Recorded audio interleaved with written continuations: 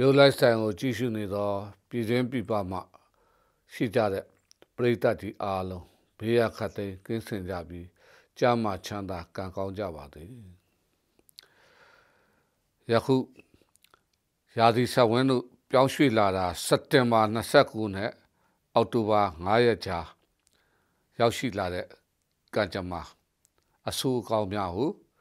ဆန္ဒရာသီဘွားများအတွက်ပြည်သူပြည်သားကဘာသူဘွားသား ဆန္ဒရာသီဘွားတွေကံတရားအဆိုးအကောင်းကိုဟောကြားပေးမှာဖြစ်ပါတယ်ဓနုရာသီဘွားတွေဟာနိုဝင်ဘာ23ဒီဇင်ဘာ21ကြားမှာမွေးဖွားသူတွေဖြစ်တယ်ဒီရာသီဘွားတွေကယခုကာလမှာအမတန်ကံကောင်းတဲ့အချိန်ပဲမကောင်းတာတွေများများရှောင်မှုတော့လို့တယ်ကောင်းတာတွေများများလို့ဒေါသနဲ့ရှင်ပြီးဘာမှမလုပ်နဲ့ မိမိကိုကူညီတဲ့သူတွေပေါ်လာမယ်စာပေကိစ္စအမှုပညာကိစ္စအလှပကိစ္စတွေအောင်မြင်မယ်တင်တန်းတွေတက်ရ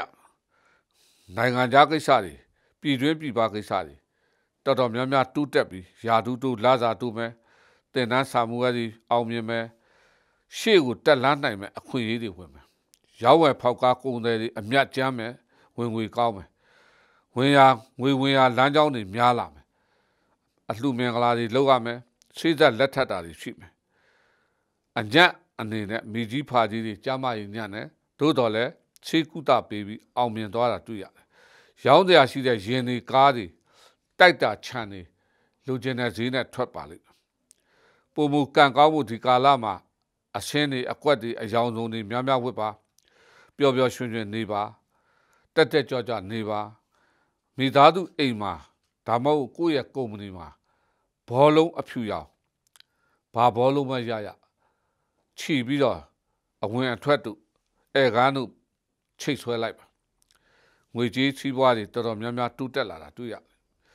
6ခွန်5ဆိုတဲ့အတွဲကိုထီထိုးမဲ့ဆိုရင်ကန်ဆန်းလို့ရတဲ့ကန်အကောင်းဆုံးအကျိုးပေးနံပါတ်ပဲဖြစ်ပါတယ်အရာရာကန်ကောင်းမှုဒီကာလမှာတပ္ပဇယမင်္ဂလာဂါတာတော်ကြီးငွေဝင်ဂါတာဒီဝတပတိအာရိရှောဆိုတဲ့တပ္ပဇယမင်္ဂလာဂါတာတော် တလုံးချပြီးပတိဆက်ပတ်နေ့တိုင်းစိတ်ပါခွဲစိတ်လို့ရပါတယ်အဲ့ဒါဆိုရင်အလုံးစုံငွေကြေးစီးပွားဥစ္စာတွေတည်တည်ချာချာဝင်လာတာတွေ့ရပါလိမ့်မယ်